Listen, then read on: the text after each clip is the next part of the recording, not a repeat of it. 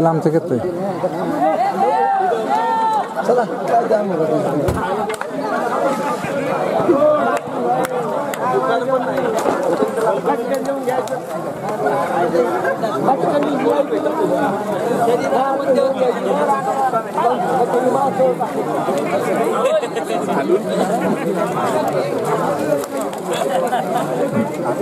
बघा इथं होता आपण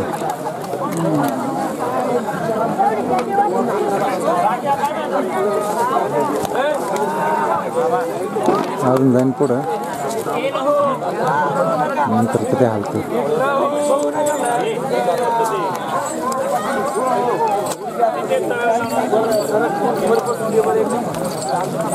Grazie.